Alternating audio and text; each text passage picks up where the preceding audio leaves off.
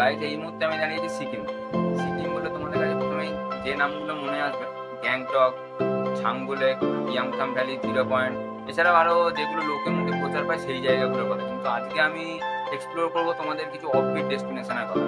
যেগুলো সিকিমেই আছে। তো, এবং সব থেকে বড় ব্যাপার হচ্ছে যেটা my first ever solo trip এটা।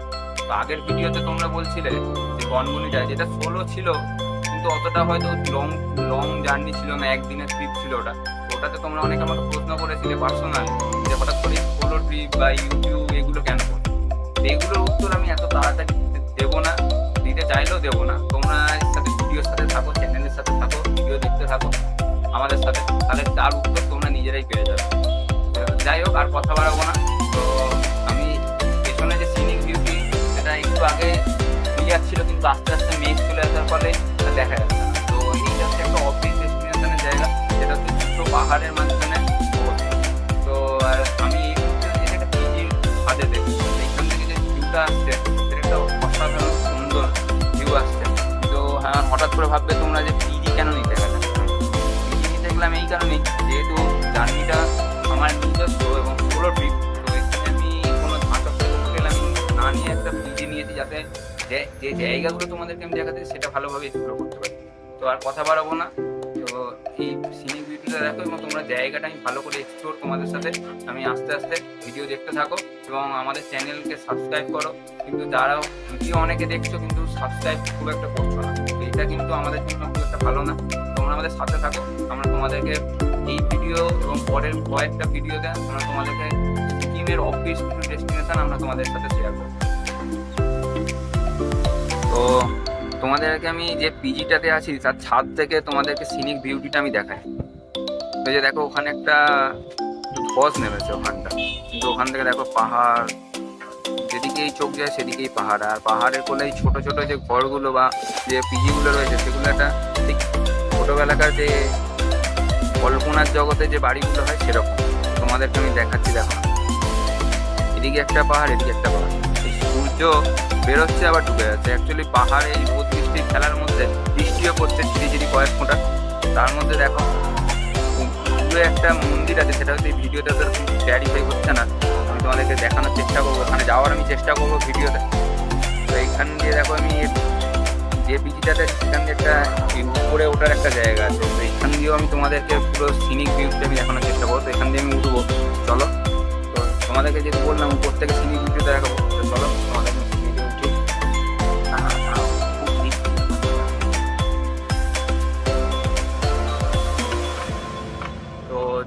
যে অফবিট ডেস্টিনেশনটার কথা বলছিলাম তো জায়গাটার নাম হচ্ছে সিংটাম তো সিংটাম হচ্ছে কি জন্য বিশেষত, সেটা তোমাদেরকে আমি দেখাবো। তার আগে কারণ দুটো বলে রাখি, যে এখানে একটু তিস্তা নদী আর হচ্ছে রানীখোলা।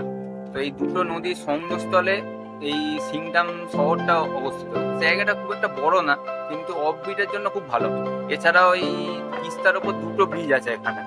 এটা হচ্ছে ইন্দ্রাণী ব্রিজ আর একটা হচ্ছে শেরওয়ানি ব্রিজ তো ওই ব্রিজ দিয়ে তোমাদেরকে আমি সবই দেখাবো। তো তোমাদেরকে তার আগে একটু যাতে জায়গাটা সম্বন্ধে একটু তোমরা জেনে রাখো বা কীরকম, কেন হঠাৎ করে সেলান্ডিয়ান সার্কেল এরকম একটা জায়গা এক্সপ্লোর করতে গেল।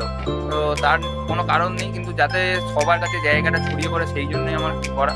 তো তোমাদের আমি দেখাবো যে তিস্তার জল নীল আর রানী খোলারটা হচ্ছে ঘোলাটে পুরো সমুদ্রস্থলে গিয়ে তোমাদেরকে আমি ভিডিওতে দেখাবো। তো হচ্ছে রানী খোলার নামটা কেন হয়েছে তারও একটা কারণ আছে। সেই কারণটা আমি তোমাদেরকে একটু পরে শেয়ার করছি। তো অবশ্যই আমি তার একটা গুরুত্বপূর্ণ কারণ আছে। তো চলো দেখো এখান থেকে সূর্যটা খুব একটা বেরোতেও পারছে না মেঘটাকে ঘিরে দিচ্ছে। আর এই দেখো, এখান থেকে ভিউটা দেখো। ঘুরতে ঘুরতে আমি চলে এসেছি রানীখোলা নদীর পাড়ে। যেটা বলছিলাম যেখানে তিস্তা, রানীখোলা দুটো নদীর সংযোগস্থলে সিংতাম শহরটা অবস্থিত। যে বলছিলাম যে রানীখোলা নদীর পাশ দিয়ে একটা হেঁটে যাওয়ার জন্য একটা সুন্দর পথ আছে। যেটা তুমি একা একাকিত্বটাকেও কাটাতে পারো এবং একাকিত্বটাকে অনুভবও করতে পারো। তো এবার তোমাদেরকে যে বলছিলাম যে এখানে যে ল্যান্ডস্লাইডটা একটা হয়েছে, তো সেই ল্যান্ডস্লাইডটার কাছে আমরা চলে এসেছি। ঠিক আছে? তোমাদেরকে ব্যাক ক্যামেরায় দেখাবো, তার আগে দেখো ফ্রন্ট ক্যামেরায় দেখাবো। তোমাদেরকে থ্রি সিক্সটি ভিউটা দেখাই।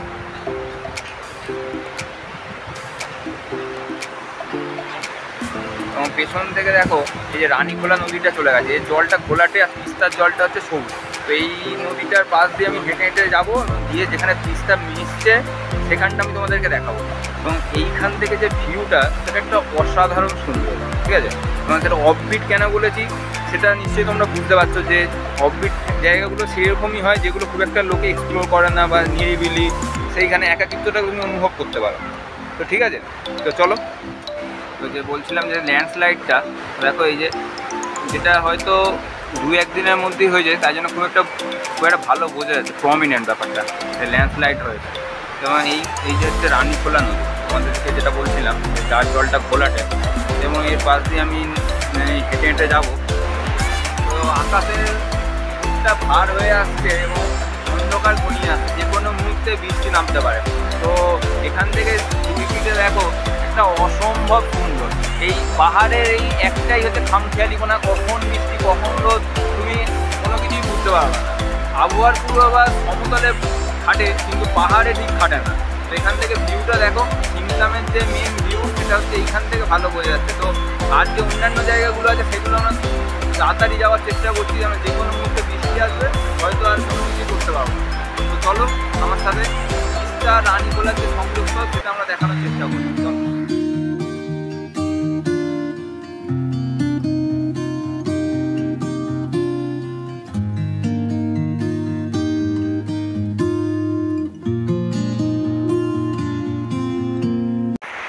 এই মুহূর্তে আমি দাঁড়িয়ে রয়েছি সেই বহু প্রতীক্ষিত জায়গা যে তিস্তা রানীখোলার মিলনস্থল। এখান থেকে হচ্ছে একটা ভিউ পয়েন্ট তো আমরা ওই পেছন দিকে দেখো, রানীখোলা তিস্তা মিশেছে ওইখানে আমরা যাওয়ার চেষ্টা করব।